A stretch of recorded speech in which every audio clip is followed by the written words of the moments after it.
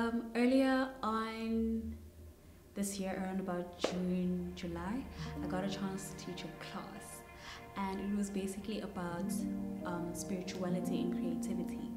And my main point was um, understanding your creativity to a point where you get in touch with your spirituality, or vice versa, understanding your spirituality to get in touch with your creativity.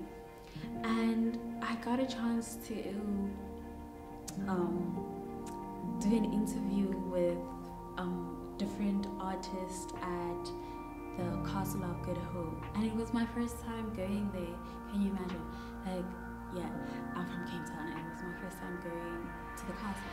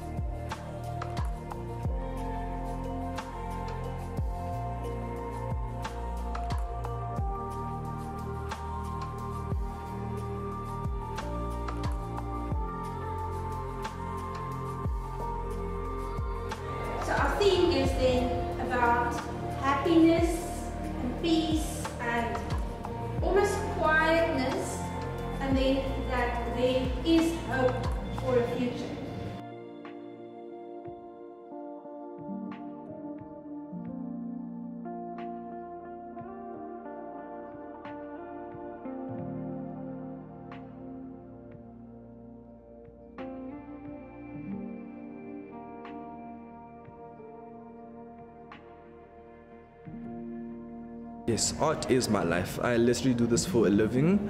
Um, there was a time where I was asked the question if money weren't an issue, what I would do with my life, and I said art, and it's something that I took seriously. And there is this thing where they, where they say, if you work on your gifts, they will make room for you. And ever since I started working on my craft, I've gotten all these opportunities, gotten to travel and also meet these people. And as I have my exhibitions, it's very nourishing to me seeing that okay I've been working for a couple of years curating these things and they're on display I can get to tell the world my story which makes me feel good and also nourish the hearts and minds of other people through my artwork. Staying healthy and positive. I think that's what motivates me to create. Um, it's my safe space, it's my therapy, um, and creating those places that don't exist in reality. It's like these mini tiny sanctuaries. So I like to sugarcoat the negative. So we all know, like, with um, skin color and uh, gender or race, it's such a big um, thing that people are always constantly bickering about. I'm too dark, I'm too light, you to this, you to that. And at the end of the day, we all part of the same race, the human race. We all share the same oxygen and water, breathe the same, bleed the same, love differently. But essentially, at our core, we all have the same energy source. We all have a spirit connecting us to the planet that we're living on. I mean, our source is all exactly the same no matter what name you give it. That energy that's allowing you to breathe and survive and live on this planet is coming from the same point. So I forgot what the question is. But But you Yeah. answered. Thank you so much.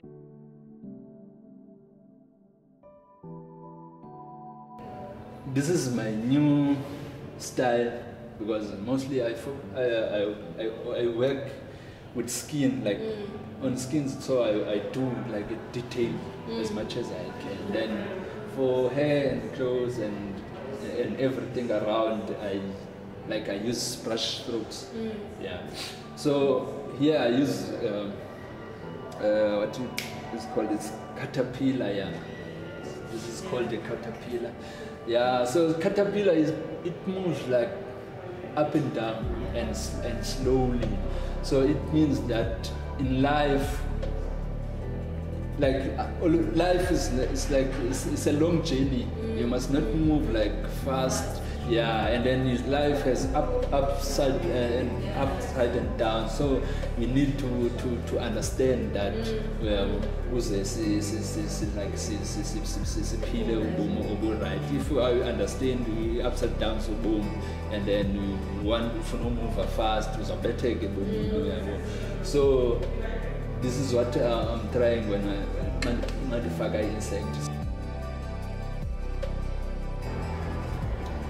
First, this is an every, uh, everyday scene. Uh, balisa nje ibali lethu laselokishini. You can see background, i- informal settlement, and also le ndlela abantu abavale ngayo like uh, impumlo loo nto iyachaza uba abekho kwi- kwi-environment right maybe kuyanuka maybe kufe like inja or inkunkuma. Yabo so indlela indlela indawo esihlala kuzo like uh, eh, kwindawo esisuka kuzo so kubalisa i- ibali lase- laselokishini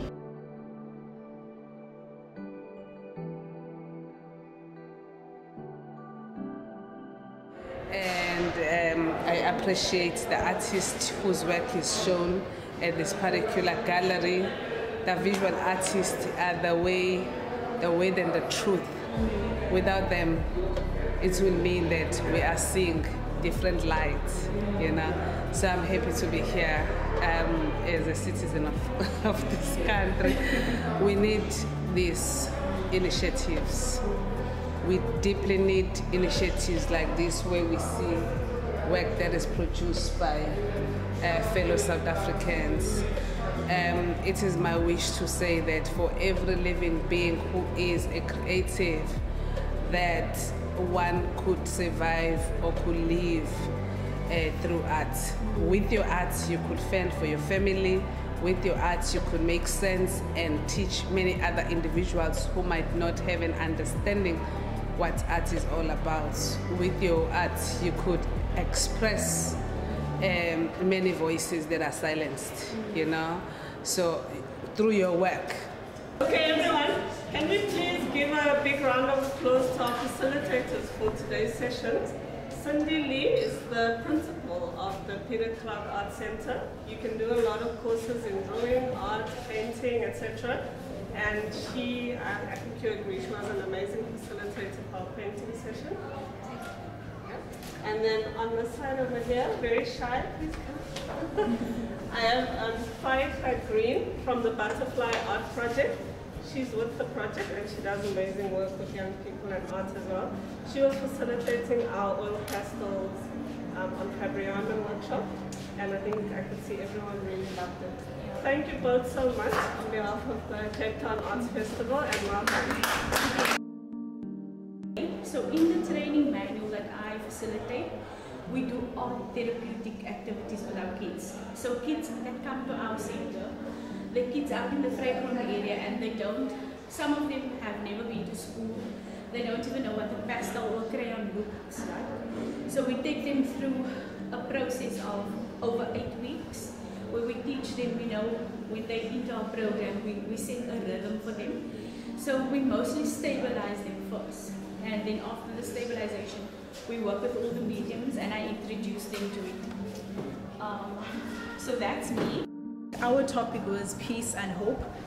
Uh, I didn't really know where I was going, but I was composing my my piece as I went along. Um, the colors that I used are rainbow colors, spectrum, light, because I feel like that's um, a good example for peace. It says here, I'm living in my sunshine. And then it also has writing of one of my poetry, which says, um, Walk with me so you can find the path of righteousness to peace and love and happiness. So um, I'm also a poet.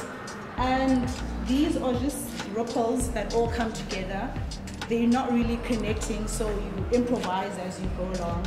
And this um, diamond, two diamonds make, I mean, two triangles make a diamond, which is a, a di- triangle is my favorite shape. So sorry. Then it says, Heal my soul, heal me, which is also the beginning of the poem here. So the series, uh, I thought that I'm gonna put myself in the artwork. I'm really gonna put myself.